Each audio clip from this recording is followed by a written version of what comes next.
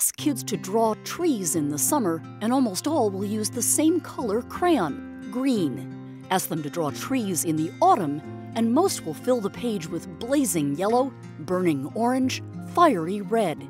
One of the best places to see leaves changing and the fall foliage is in New England when you have this brilliant rainbow of colors in October. That's what our image of seasons is all about. Why do leaves in northern areas change out of their summer green and into autumn colors? Like bright clothes covered by a green coat, those golden yellows and oranges have been there all along. We just see it as green and we can't see the orange color in the leaves because it's masked by the green.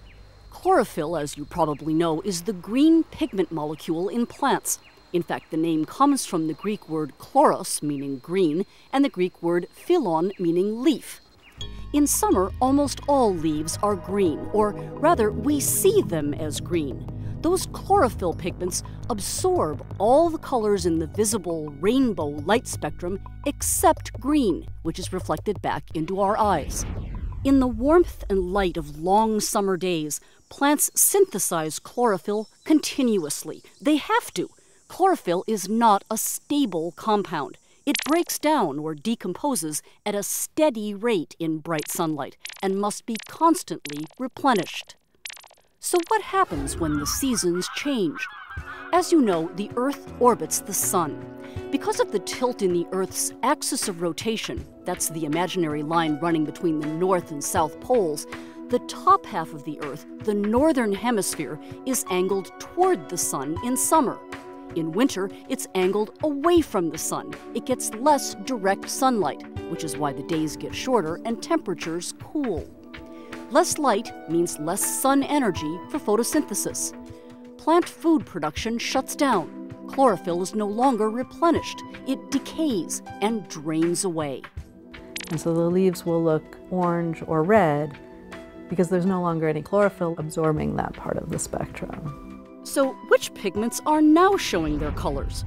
Carotenoids, like carotene and xanthophyll, and flavonoids, like quercetin and anthocyanin. By themselves or in combination, these pigments contribute particular autumn colors. Yellow leaves? That's usually because of carotenoids, the same pigments in, yes, carrots and pumpkins and sunflowers. Orange leaves? They contain good amounts of both carotenoids and anthocyanin, a pigment also found in apples and grapes. And the bright red leaves? Those are mostly anthocyanin pigments. Actually, most anthocyanins are produced in the fall. In some leaves, like red maples, anthocyanins are produced with plant sugars that are trapped in the leaves. Sunny days promote sugar production in the leaves, and the cool, crisp temperatures prevent the sugar from flowing out of the leaf. The sugar builds up and at high concentrations reacts with the leaf sap to produce anthocyanin. Although genetics determine which pigments a plant makes, the autumn color display will change year to year because of other factors.